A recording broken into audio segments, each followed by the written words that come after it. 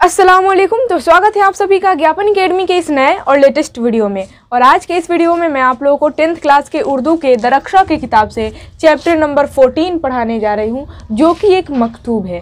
मकतूब मैं आप लोगों को बता चुकी हूँ। मकतूब को ही ख़त बोलते हैं, या फिर इंग्लिश में लेटर नहीं तो हिंदी में पत्र या फिर चिट्ठी कहते हैं।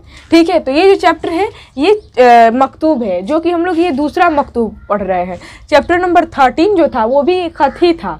वो भी लेटर ही था जो कि मिर्ज़ा गालिब ने लिखा था। ठीक है? अब ये दूसरा ख़त पढ़ रहे हैं जो अब्दुल गफ़ूर ने लिखा है। और ये अब्दुल गफ़ूर जो है, अपनी बेटी को ये ख़त लिखे हैं। अपनी बेटी सोगरा के नाम।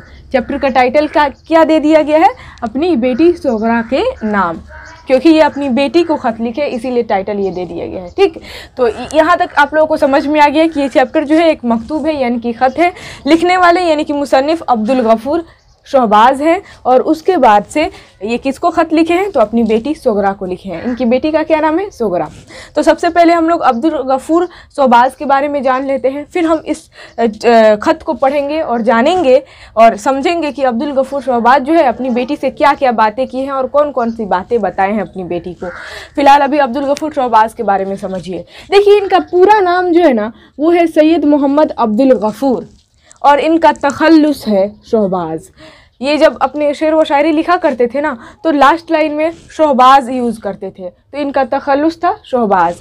तो अब्दुल गफ़ूर, शहबाज जो है ना, उनका पूरा नाम सैयद मोहम्मद अब्दुल गफ़ूर था और शहबाज तखल्लुस रह, रखने की वजह से ये अब्दुल गफ़ूर शहबाज के नाम से मशहूर हो गए। ठीक है? और इनकी पैदाइश सर मेरा बाढ़ में हुई है। डेट नहीं दिया गया है कि कब, किस डेट को हुई है।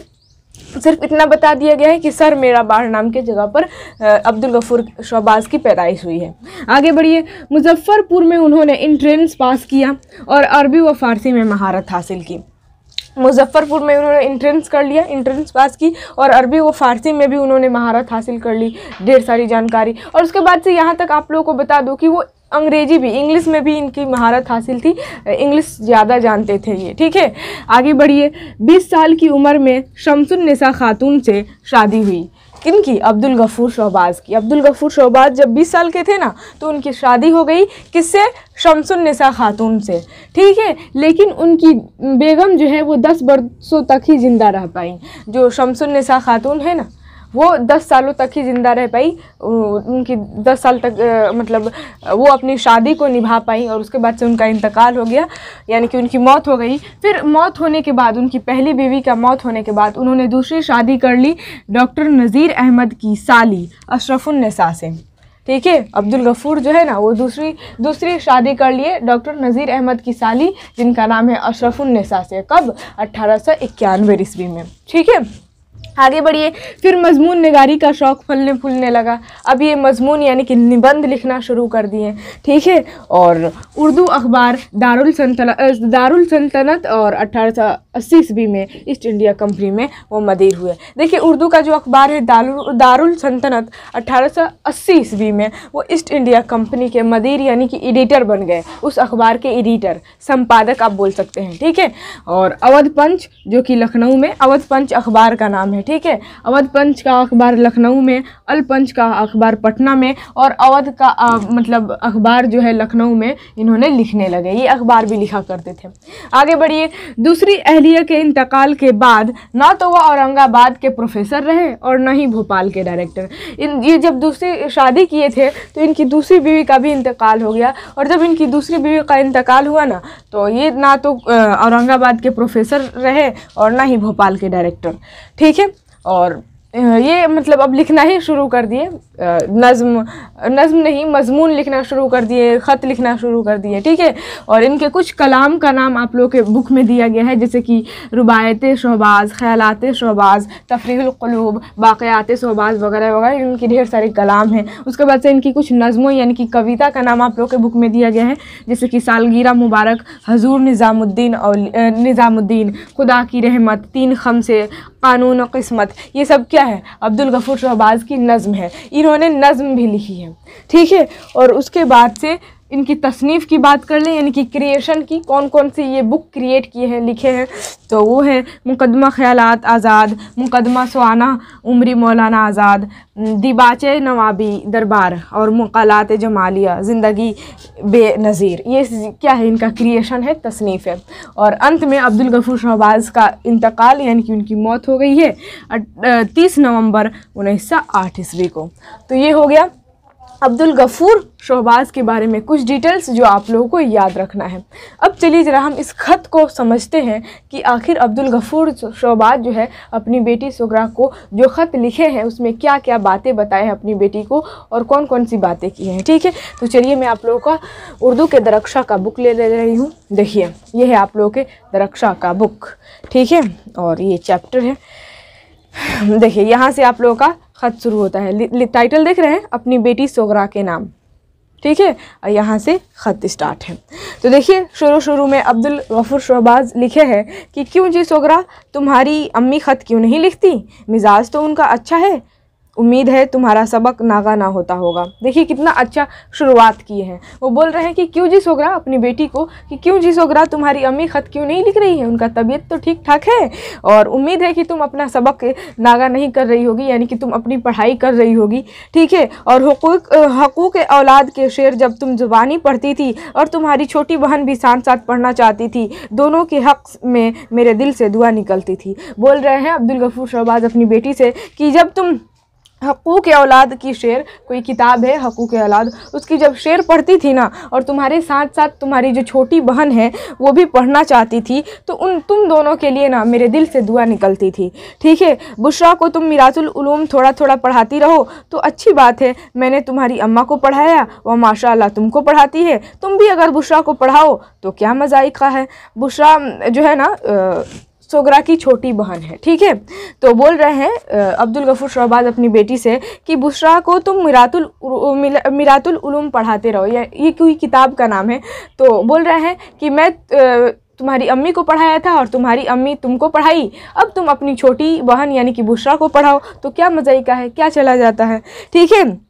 उसके बाद से हकूक़ औलाद जब तुम तमाम कर लोगी मैं तुमको ज़रूर इनाम दूँगा। राह निजात के तमाम होने में अभी देर है इसके इनाम का वादा अभी से करना फिजूल है। बोल रहे हैं कि अगर तुम हकूक़ औलाद नाम का वो जो किताब है वो ख़त्म कर दोगी उसको पढ़कर इंड कर दोगी तो मैं तुम्हें इनाम ज़रूर दूँगा। लेकिन मैं आ, मेरी मैं अभी आ नहीं सकता राह निजात के तमाम होने में अभी देर है। अभी मुझे आने में बहुत ज़्यादा देर है तो मैं वादा तो नहीं कर सकता कि मैं आऊँगा लेकिन हाँ देखिए आगे लिखे हैं मैं खुदा आ, मैं खुदा ने चाहा तो मुहर्रम की तातील में आऊँगा। बोल रहे हैं कि अगर खुदा ने चाहा तो मैं मुहर्रम में मुहर्रम की छुट्टी में आ जाऊँगा लेकिन मैं वादा नहीं कर सकता कि हाँ आऊँगा ही आऊँगा।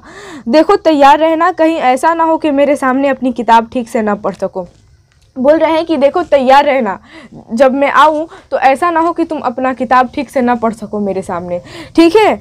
आगे बढ़िए। अखलाक हिंदी का आमुख्ता तुम रोज़ नहीं पढ़ती। भाई, यह बात अच्छी नहीं। अगर छोड़ दोगी, भूल जाओगी, और की कराई मेहनत बर्बाद होगी। अखलाक हिंदी नाम का कोई किताब है तो बोल रहे हैं कि उसको तुम रोज़ नहीं पढ़ती हो। भाई, ये अच्छी बात नहीं है। अगर तुम छोड़ दोगी तो भूल जाओगी और की कराई मेहनत बर्बाद हो जाएगी। ठीक है? आगे बढ़िए। इधर में असगरी को देखने नहीं गया, मगर नहीं गया तो क्या हुआ? लोगों से तो मालूम होता रहता है कि वो गज़ब की तरक्की कर रही है। तुमको अगर शौक हो और मेहनत करो तो दो चार महीने में अब भी तुम उसको सबक दे सकती हो। ये असगरी नाम की कोई लड़की है तो बोल रहे हैं कि मैं असगरी को देखने नहीं गया तो क्या हुआ? लोगों से तो मालूम चल रहा है कि वो गज़ब की तरक्की कर रही है, गज़ब की मतलब वो पढ़ाई कर रही है, पढ़ने में बहुत ज़्यादा तेज़ है।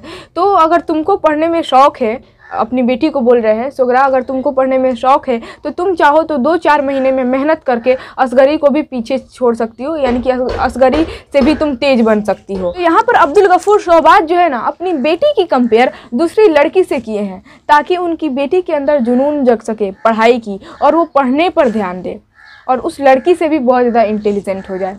ठीक है? तो देखिए कंपेयर इज़ वेरी इंपॉर्टेंट बहुत सारे टीचर हैं, बहुत सारे मोटिवेशनल स्पीकर हैं जो कहते हैं कि कंपेयर बिल्कुल भी नहीं करना चाहिए। जी, बिल्कुल कंपेयर करना चाहिए। कोई भी इंसान जो है, वो कंपेयर करके ही कुछ सीखता है।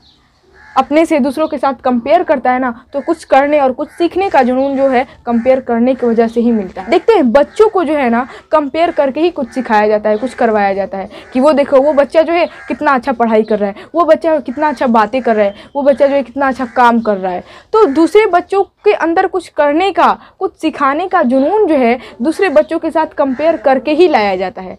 तभी उस बच्चे के अंदर सीखने की चाहत आती है कि हाँ मुझको भी इस तरह पढ़ाई करना चाहिए। मैं आप लोगों को बोल रही हूँ कंपेयर करना चाहिए। लेकिन कंपेयर करके अपने आप को कम आंकना ये गलत है। कंपेयर अपने से छोटे लोगों के साथ नहीं करना चाहिए। नहीं तो जब आप अपने से छोटे लोगों से कंपेयर करना शुरू कर देंगे तो आप अपने आप को दी बेस्ट समझने लगेंगे। बोलेंगे कि मेरे जैसा इंसान तो कोई है ही नहीं।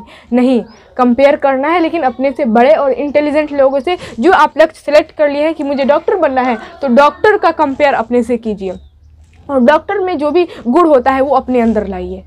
This is very important point ध्यान में रखना है। यहाँ पर बात पर बात आई तो मैं आप लोगों को बता दी। चलिए, आगे बढ़िए लिखा है कि मुझको चार पाँच रोज से एक दम्बल सख्त सता रहा है। अब किसी कदर आराम हुआ है। डॉक्टर अब्दुल अब्दुल गफूर शहबाज जो है अपनी बेटी से बोल रहे हैं कि मुझे चार पाँच रोज से यानी कि चार पाँच दिनों से एक दम्बल सख्त एक बीमारी है जो मुझको सता रहा है, लेकिन अभी कुछ कदर आराम है। और मैंने यह ख़त साफ़ साफ़ लिखा है। यकीन है, गौर करोगी तो बगैर किसी की मदद के आप पढ़ लोगी। बुशरा को दुआ कहो और अपनी नानी को खिदमत में तस्लीम। बोल रहे हैं कि मैंने ये जो ख़त लिखा है, बिल्कुल साफ़ साफ़ और सिंपल लफ्ज़ों में लिखा है। गौर करोगी ना तो तुम बगैर किसी मदद के खुद से ही पढ़ ली, पढ़ लोगी। ठीक है, और बुशरा को, यानी कि अपनी छोटी बहन को दुआ कहो और तुम अपनी नानी को मेरी तरफ़ से सलाम बोल देना। और लास्ट में अब्दुल गफूर जो है, अपना नाम लिख दिए हैं। तो ये था अब्दुल गफूर शहबाज का ख़त, जो कि उन्होंने अपनी बेटी को लिखा था। कोई भी कंफ्यूजन हो इस चैप्टर से रिलेटेड आप हमें कमेंट कर कर पूछ सकते हैं। जो कुछ भी मैं आप लोगों को समझाई, समझ में आया तो वीडियो को लाइक ज़रूर कीजिएगा। और उसके बाद से वीडियो को शेयर कर दीजिए, अपने पड़ोसी, अपने दोस्तों के पास जितना ज़्यादा हो सके, उतना ज़्यादा शेयर कर दीजिए। और अगर आप लोग चैनल पर नए हैं तो चैनल को सब्सक्राइब ज़रूर कर लीजिएगा, ताकि मेरी रोज़ आने वाली ऑल वीडियो का नोटिफिकेशन आप तक सबसे पहले पहुँचे। तो फिर मिलेंगे नेक्स्ट वीडियो में नेक्स्ट टॉपिक के साथ। तब तक के लिए जय हिंद और खुदा हाफिज़।